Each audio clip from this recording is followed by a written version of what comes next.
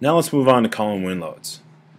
Column wind loads are the default loads uh, that are used when you import or directly apply them from the wind load generator. Uh, they're very similar to one-way loads because they use one-way distributive action uh, to distribute to the to the members that you apply them to. Uh, so what we'll do is we'll actually pretend that this face of our quote-unquote building is uh, seeing some lateral wind load and um, we'll apply the, the loads as a uh, column wind load. So what we'll do is we'll hide the rest of the structure here.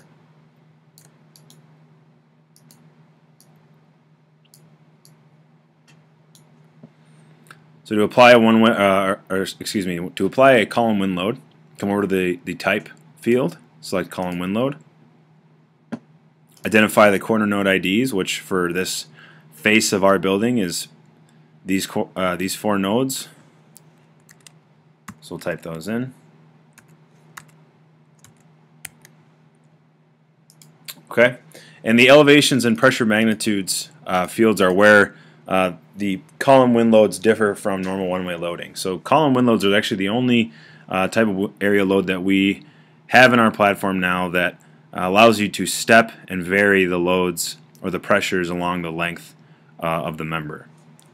So what this elevations uh, field does is this is how you identify where those steps and pressure uh, are going to be. Um, the elevations basically go from zero to the height of your structure or the height of the member. Um, because column wind loads can actually be used really in any direction, they can be used on slanted uh, faces, they can use on slope faces. Um, this elevations is kind of arbitrary. It's really it's really the distance along the member from uh, start to finish where you want the loads to step. Um, starting at zero, again, the what what what side is identified as zero is dependent on the column beam direction, which this is this was shown in the one-way uh, area load that we applied earlier. Um, but right now we have the column beam direction as 15 to 18. So it's from this node to this node. So we're identifying this direction as the direction of our column. So when we apply this load, it'll be on this member, this member, and this member. So 5, 9, and 14. What's uh, what's something you have to pay attention uh, more so when you're applying column wind loads is that uh, the column beam direction basically will say node 15 is the start elevation and node 18 is the end elevation. So when you say elevation 0, elevation 0 is dependent on the order of this of this field. So if this was reversed, 18, 15, elevation 0 would correspond to this elevation up here. So you always want to make sure that you go from top to bottom when you're identifying the column uh, slash beam direction for the for the column wind loads. So let's just do an example here. It's a lot easier to show. So we'll say that uh, from zero to two feet, there's a pressure, and then it changes, and then at five feet it changes, and then let's say at eight feet it changes, and then finally 10. So you can see we have five different elevation values here when you go into pressure magnitudes, there should be one less value that there are than there are elevations. So there should be four pressure magnitudes um, for the five elevation values. Um, the reason the reason being is because um, basically what we're saying is from zero to two, that will correspond to the first pressure. From two to five, that will correspond to the second pressure, and so on and so forth. So what we'll do is we'll just do, let's say, 50 psf for the first uh, range of values between 0 and 2. And then we'll say maybe 70 PSF for the second range of values, so 2 to 5. And then we'll, we'll keep filling out this field here.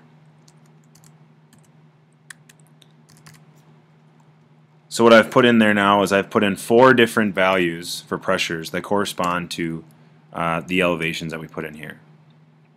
Uh, we'll just call this wind load Actually, we'll call this wind load in the X, be a little more specific. Hit apply. So there you can see the these steps in our load. So it's it's using one-way action to calculate the, the tributary width of each column. Basically, like there's a facade here, and that the entire facade is taking the lateral load and distributing it to these columns that we identified uh, that are a part of the uh, corner node IDs that we identified earlier. So like you, see, you can see there's the, the step. So if I wanted to change this um, to let's say steps at 4 instead of 2, you can see that the, the step now is at 4. And then there's from 4 to 5 the pressure changes, etc., etc. So very, very useful for uh, modeling pressures that vary along along a length of a column or a member. Again, this if you imagine this being sloped, um, it's the same thing. The, the the term elevations applies there, whereas um, instead of up and down, it's just along the length of members. So you need to know what the length of that slanted member is. And again, it, as long as you identify the start and end of it with the column beam direction, you can apply this type of load to really any direction on any type of face. Um, and it's going to use a one-way action to um, to calculate those values.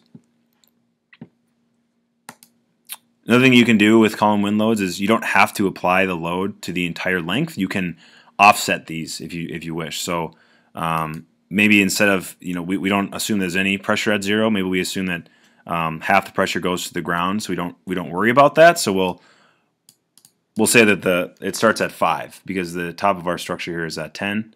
Um, so we'll we'll say that it starts at five, and then maybe it steps at we'll we'll keep the same pressure magnitudes, but maybe it steps four times. So I think we'll do this.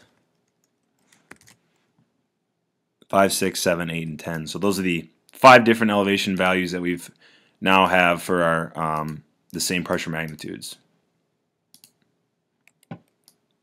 So now you can see that instead of having a, a, the variable load along the entire length of the column, we've now basically offset that to start at elevation 5 and then step four different times um, towards the end of the member.